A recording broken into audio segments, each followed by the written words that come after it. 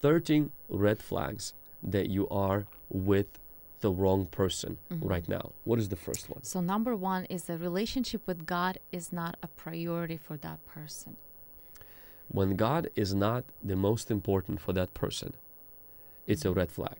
Mhm. If you are the most important person for the person you are with, that's, a red flag. scary. Mhm. That's scary. Mhm. You know, I always told even my wife that, you know, I love Jesus more than I love you. And because of that, I will love you more every single year as we grow together. Yeah, yeah. I think when we understand this truth, it's it, it doesn't become scary. It actually liberates us Mm. and makes us trust that person. If when I was single and I was praying, um, God, would you please give me a husband that will love you more than he will love me? Mm. And that's exactly what I got. And I am so thankful to God that I, you know, prayed those prayers and I, uh, my mindset was correct in this area to understand that a person needs to be attached to God more than anything before he's attached to you. So, ladies, a good prayer to pray. Instead Mhm. of saying, Lord, send me a Mr. Handsome, send me a person that loves you more than and he I will also got the Mr. Handsome. Amen. Praise God. So, Number red flag number two. two. Actions and words don't match. That's a big one. That's a character flaw. Yeah. And even if that person is in the Lord, if what they say and what they do, I'm not talking about once or twice, Mhm. but you're noticing Pattern. there's a pattern. This person says one thing, does another. They make promises they don't keep. Mhm. They keep breaking their um, their their oaths, their their commitments. Um, you're dealing with a person that either is immature, likes to be admired for the words he says, but doesn't have the character to live out his commitments. To me, it's a huge, huge red flag. Number three, um, if she or he has uh, close friends that are not committed to the Lord. And I think this one is actually huge because this is how you can actually see with whom that person is more comfortable with. Mhm. With people who are uh, more secular or with godly people. And that's a very huge sign to see who the person is really, uh, really is. It's important that we Mhm. always have non Christian friends. But if your closest and your best friends and all of them are not believers and you feel very comfortable and you don't seem to click with believers, to me that's a huge red A flag. red flag, yeah.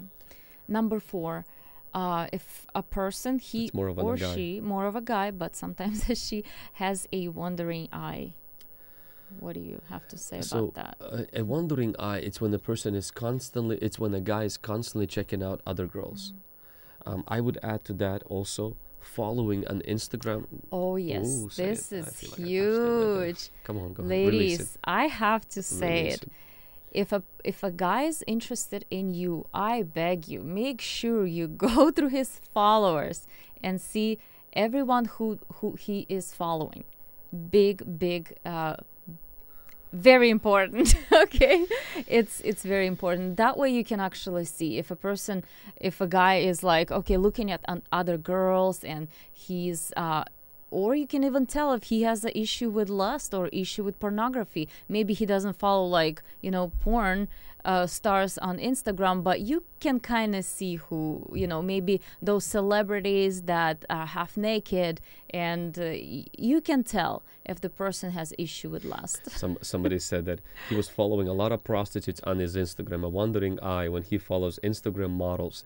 To me, I think it's supposed to be a red flag when a believer, a a young man, um, man of purity, is following female models, Mhm. female uh, workout, uh, working out um, trainers, and because I mean all of the working out trainers, I mean it's it's it's soft porn pretty much and stuff. So I mean, Mm-hmm. you know whatever you girls can follow, but um, but for a guy to follow uh, somebody with with tight or pants, hollywood stars yeah, and that exposing Mhm. their their breasts and everything, and and it's just to stay uh, relevant.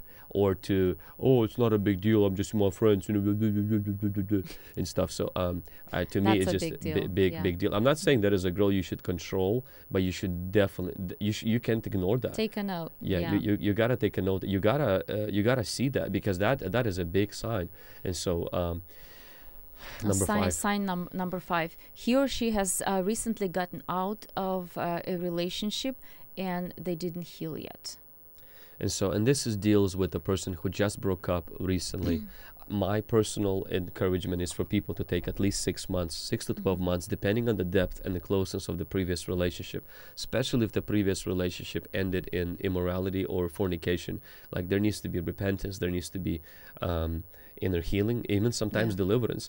And when a person jumps out, the reason why it's a red flag is because you don't really know if the person loves you or if the person uses you as a band aid when they're jumping into a relationship with you right away. What if they say, okay, I just had a, a big breakup and this person is giving me this attention and they're helping me to heal? What do you say about that? I wouldn't say that it's always a bad thing. I would consult um, counselors, mentors, to kind of monitor this person's heart because I, I can't I know some people who got married like that. And Mhm. honestly they have a thriving great relationship. They still had to deal with those issues. But to say that that this is healthy or this is wise it is not. And so because a lot of times you know you're dealing with this hurt and you're dealing with this thing and then three four five months later you actually have withdrawals and you actually want to go back to the person that you broke up with. Like and I'll, I'll be candid and honest i've had a relationship before i met lana it was a dating relationship with uh, a young gal from from our church and i broke up with her uh, a few months later i went back to the same relationship even though we didn't fit together it didn't it wasn't for me and it wasn't i wasn't for her But the emotional attachment. but the yeah. emotional attachment drew it back. The worst thing would have happened is for me to go to another relationship because I would have missed this person and go back. You don't, you know, when you this when you when a guitar stops playing music, the strings are not removed. Just because you walked away, it doesn't mean all the strings are gone. So it takes time. Time is the great revealer. And so, and the person who just broke up or separated, please go into a healthy small group go into relationship if you're a woman with other women get a counselor go into church find a good hobby begin to rebuild yourself. Don't jump into another relationship without learning the lessons that you had to learn you have to learn even if it was not your fault. Because statistics says your next relationship marriage after the divorce the chances of it end up in, ending in divorce is higher than the first one. So the idea that I, oh I learned so fast that I'm gonna jump into a next relationship is is actually baloney. Yeah. It's not how this works. You didn't learn anything because statistics says that you go back into actually worst case, not better case. And so I would really encourage to take Yeah. time to pause and don't jump to be in a relationship with somebody or like or for example, going into dating with somebody whose divorce is not finalized. oh yeah, yeah. Like I think that's a big no. That's just 100%. That's a big no. Oh, we're, we're still finalizing, you know, or it's been it's been finalized. You need to cut the cut the cord. This cord has to be cut. Person has to deal with that stuff first before they go into the next relationship. To me, that's a big red flag. Red flag number six. Number six, a person shows signs of controlling or abusive behavior. This is pretty self explanatory, but I think it has to be mentioned because a lot of people miss those signs, especially the signs of control. I Mhm. think this is um, when a person is controlling. Even if it's like already in dating, you can see the signs of control. If a person doesn't like you to hang out with your friends that you used to have, Mhm. or a person constantly showing signs that they only want to be with you only th- you are theirs you're Mhm. their world this is actually very unhealthy because uh, later on when you marry that kind of a person you're going to be very miserable that person will will take another level of control and will be um, sometimes it, it gets out of out of control Yeah, I think that um, as, as well. What I would want to mention is there's a difference between love hmm and obsessive love. When a person has an obsessive love, they don't love you. They are actually having a problem and they are possessing you. They are trying to Mhm. control you, and that is very, very dangerous. And so we have to be very careful because that becomes extremely toxic. At first, actually, if you have had a problem with, you know, having Mhm. somebody love you, like you will actually fall fall prey to that, and you'll be like, man, this is so amazing. Yeah, I, I am yeah, wanted. yeah, I am desired Mhm. and everything. But in reality, it's Mhm. not. When the person is obsessed with you, they will become possessive of you. Mhm. Here are the six characteristics of obsessive love. Obsessive love is when a person cannot live without you, when a person demands unreasonable amounts of time and when a person ignores the other aspects of their own life to be with you, Mhm. when a person shows jealousy toward anything and any activity that compels for your attention, that competes for your attention, when the person follows you, checks up on you when Yeah. you're not together, and obsessive love begins with an intense motion, intense emotion, flattery, and atten- and attention, but Yeah, slowly yeah. it grows into unhealthy possessiveness of you. Yeah, yeah, that's big. I think love it's it's completely opposite. Love always gives freedom, trust, a choice, encourages uh, a person to uh, have relationships, uh, you know, cultivate friendships and uh, even like even cultivate the friendships, create new friendships that you know a couple can enjoy together. I would say the the freedom. Number seven, uh, the person has the same sin habits, addictions, and struggles, and doesn't have freedom. Shouldn't we give a, uh chance for people who are struggling? Or, or do you think that uh, when the person, for example, is addicted to drugs, um, where is the line between, you know, dating them uh, or addicted to pornography or addicted to smoking or addicted to lying or maybe other stuff? Where's the line um, of dating them if they're addicted? So, I, the line is you just don't. You you do not date people who are addicted, who have really terrible habits that will uh, eventually destroy the marriage or a relationship. Period. That person needs a rehab center, not a Mm. relationship. Oh, d- whoa, whoa, The- whoa. If a person, especially, is Addicted addicted to alcohol, drugs, Let's- let's- hold on, or one- one second, even second. addiction to Let's hold on. sex. So uh, a person who is addicted needs a rehab, not, Not a a, relationship. relationship, Oh, come on, somebody, drop that in the chat right now. A person but that's because addicted. yeah but because they need a rehab they think they will find the rehab in the relationships but Mm, it's a very false notion it's absolutely untrue that will actually uh, destroy another person's world mhm. and not heal that person who's addicted to Mhm. something Now, if you are in a marriage relationship and you are addicted, you know, we are not saying, okay, d- dump your spouse right now Yeah. and then uh, dump him into rehab. And also, a lot of people uh, who are addicted, I feel like they need deliverance and discipline, not dating. Yeah That's good. on. Drop that in the Mhm. chat. If you're addicted, you need deliverance and discipline, not Mhm, dating. mhm, So it's mhm. important that you take time to get free. So for those of you who are right now watching and you are single, please don't feed that addiction. Um, get freedom, overcome that. Get get get into deliverance. Um, come to our prayer line and get delivered. You know, go through my prayer line, prayer videos, and get delivered. Experience deliverance. It doesn't mean if you get married you have to be perfect. You know, we all sin and stumble, but when you willfully, habitually, intentionally continue to sin without repentance, it destroys the Yeah. other person. And if kids are involved, it's extremely, extremely difficult and damaging. Marriage is supposed to be a blessing, but you will make it a battlefield uh, because of that addiction, and it just makes it very, very difficult. And so, uh, Mhm. if if you're single and you're dating somebody who is addicted to porn right now, and they do not seek deliverance, they do not want to put um, any kind of discipline in their own life, drop them like a hot potato and run from them like from a plague. Yep. Number eight, uh, the person doesn't respect purity and has no desire to wait until marriage to have sexual relationship. That's huge. Mm-hmm. If from the beginning this person is not willing to set boundaries with you and not willing to help you guard those boundaries but they are opposite they're like no i want to make out no i want to have sex or no i want to have all these other sexual activities that are not you know or, intercourse or, or, or anything some of that Mm-hmm. people, some guys, they say, yes, okay, yeah, I can do that. But then they push the envelope. They said one thing with their words, but with their actions, they're pushing the envelope of purity. Mhm. So that's a huge red yeah sign. they're not interested Yes. um, mhm. in that and they are just simply wanting to um, they, they're just in there not for love they're in there for lust Mhm. um, they don't um, love you they love pleasure.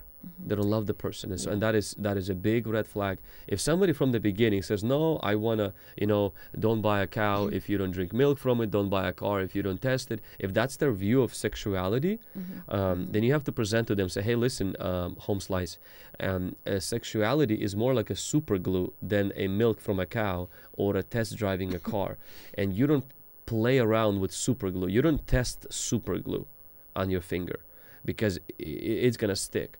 That's why Yeah. people develop soul ties, get demons and sexual transmitted diseases, get unwanted pregnancy, and so many other things. And sex has to be reserved for marriage.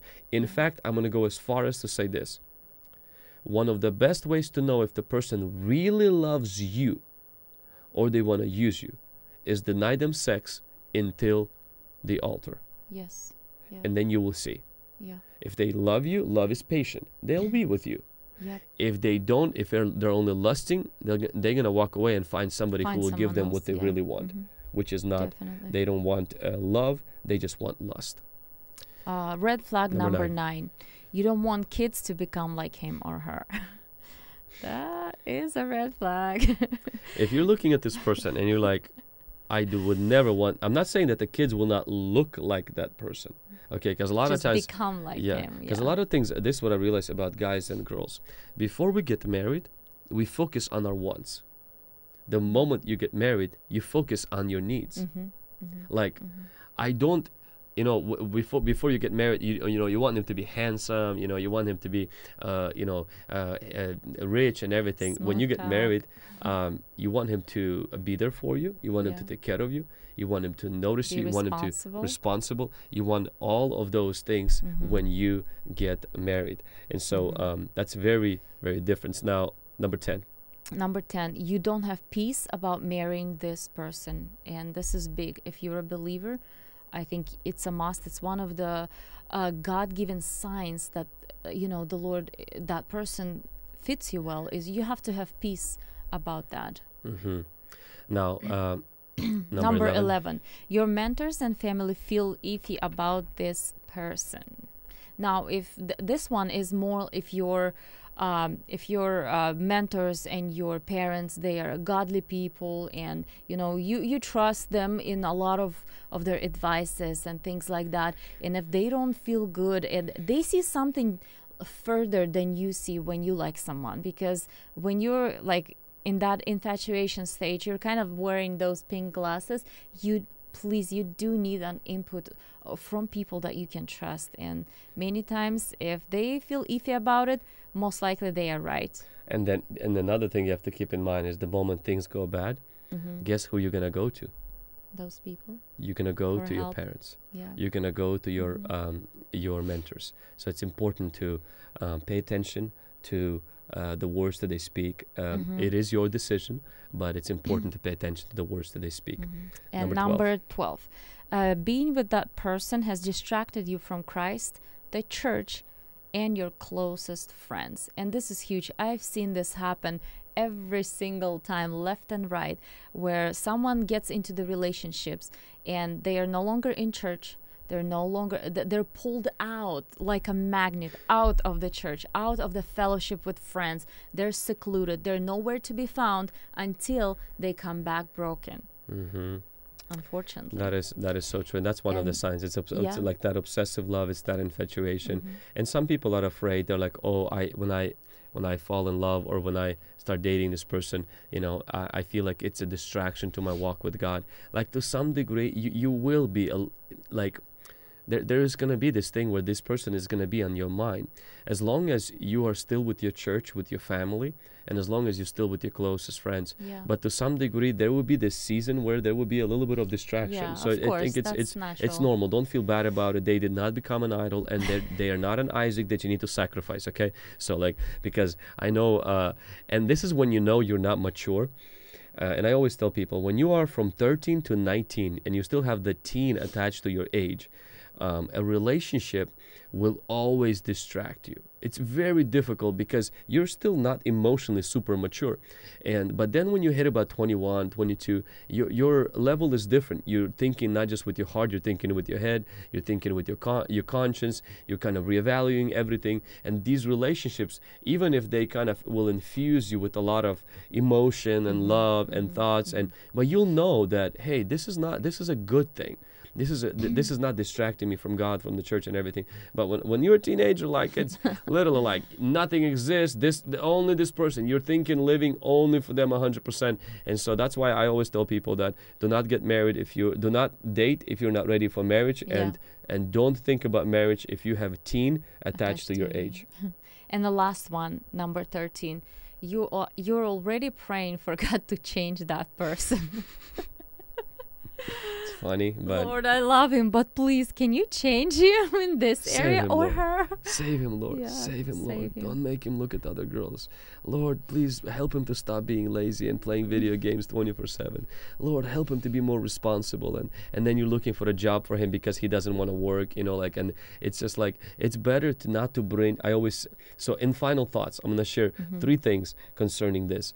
Um, it's better to wait for God to bring the right person to you than to wait for God to change the wrong person Mm-hmm. that you bring to God. And when I say wrong person, it's when you ignore all the red flags and you still do it because um, you know you really are infatuated. It's not that oh they are in the Lord and you wish to be with this person as much as you're just ignoring the common sense. You're going against the wisdom of the wise people in your life, and you're going against your own peace. Uh, there's tension right there, like in there, but you're crossing all of that because you're infatuated and because you just don't want to miss out. Nobody's gonna love you. You will never get another chance. This person is hot. Well, hell is hot. You don't want to date hell. You know. Oh, but this person is like so amazing and and everything, and you know they, they are everything that your ex wasn't. You know everything that your ex couldn't be, and so like now the fact that they're missing the other 80% that maybe your previous relationship had, you're looking blindly at that stuff, closing your eyes, hoping that they will change, and then you start kind of like going into the relationship knowing that they need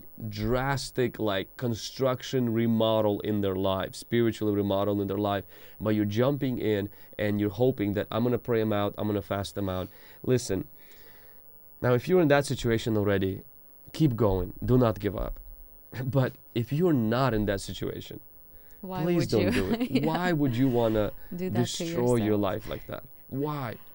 When you can spend your life being with a person that can help you to move mountains, establish God's kingdom, Well, you don't have to fight about tongues or cessationism or, or fight about going to church or not going to church, Yeah, where, yeah, where why would you want to do that yeah. and stuff? It's better to be single and whole than to be married and be in some kind of a Yeah, emotional Mhm. prison.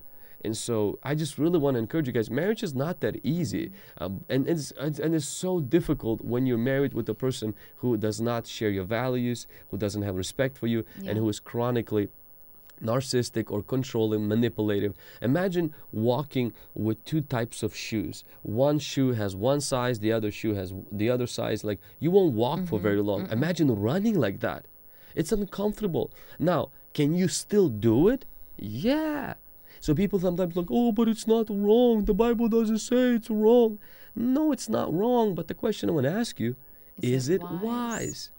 Is it wise? Is this the best thing for your future in light of your past, in light of the calling, in light of the advice that you received from your mom and dad, in, in the light of the peace that you don't feel in your heart? Your God says, run. Your God says, you're making a big mistake. In light of all of that, is this the wisest decision? So, yes, the Bible tells us they have to be in the Lord. The Bible tells us you can marry at liberty whom you wish, but the Bible is also a book of wisdom. Yeah. And the Bible gives yeah, us people yeah. like Vlad and Lana, like your mom and your dad, gives us other people who walk alongside of us and say, hey, Mm-hmm. you don't don't camp at it's not wrong.